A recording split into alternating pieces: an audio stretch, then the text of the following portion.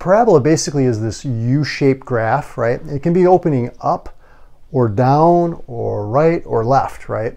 And the distance from the vertex, which is the point where the parabola bends, and this imaginary line we call the directrix right here, that distance we call p, and p is also the distance from the vertex to the focus, uh, and that's the point right there. And basically what a parabola is, it's the set of all points such that any point on this parabola is going to be the same distance between a given point called the focus and a given line called the directrix. So you can see as you go further out on this parabola, the distance to the focus is getting longer, so is the distance to the directrix, but those, those distances are going to be the same. So that's what a parabola is, but as far as you know the equation, it's either going to be an x squared variety, like x squared equals 4py, or what I call a y squared variety, which is y squared equals 4px. And if it's the x squared term, if the x is a term that's squared, it opens up or down. Okay, if p is positive, it opens up. Okay, if p is negative, it opens down. And then if it's a y squared variety, it opens right or left. It opens to the right if p is positive, left if p is negative. And then you can see you can also write it in a more general way right here with the h and the k. The h and the k pick up the graph, shift it left and right, up and down.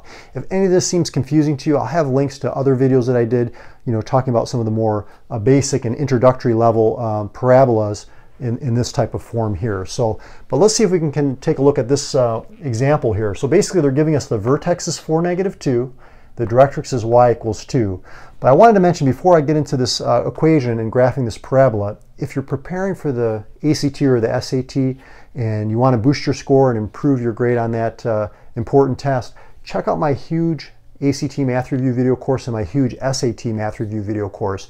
I go through teaching and examples and uh, it's got uh, numbers of hours worth of video in there with uh, a lot of opportunities for you to practice. And we focus on specifically problems that you're expected to know on those tests so that you're better prepared, you know what to expect, and you'll know how to approach those problems. So go ahead and take a look at some of the previews. I've got a few free previews for each of those courses to see if it's right for you.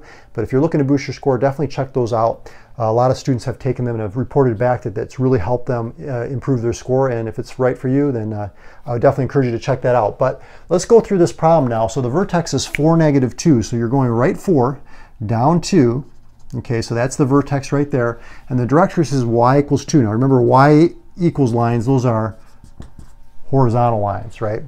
Okay, so now what we want to do is we want to realize that the distance from the vertex to the directrix is our p-value. So you can see here, this is going 1, 2, 3, 4. So you can see that from here to here, that's p.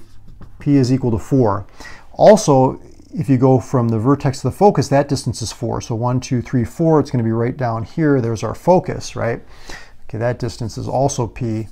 And then at the level of the focus, I didn't mention this in the intro, but the width of the parabola, okay, at the level of the focus, this width right here is always going to be 4p. So in this case, since p is 4, it's actually going to be uh, 4 times 4 is 16 wide. So what I would do is from the focus here, I would go right 8 and I would go left 8. Okay, so let's see how much is that right here. So it's going to be 1, 2, 3, 4, 5, 6, 7, 8, right about uh, over here. So that gives you an idea about how wide, okay, the parabola is at the level of the focus. Okay, but as far as the equation goes, because it's opening down, we know this is going to be an x squared variety. So it's going to be x minus, let's see, now the vertex is at 4, negative 2, so it's going to be x minus 4 squared equals 4 times p 4 times 4 is 16, but this is going to be a negative 16 since it's opening down. If it was opening up, it'd be a positive 16. And then we've got y plus 2. Now notice these are the opposite sign. It's x minus the x coordinate of the vertex, y minus the y coordinate of the vertex. And because it's x squared, it's opening down, and we have our 4 times p uh, as our coefficient right here. So I hope that helped you to understand how to write the equation of a parabola when you're given the vertex and the directrix. If you have more questions about you know how this whole process works, if there was something that was a little bit confusing there, I'll have links to other videos that I did talking about the introduction and, and the more basic level problems.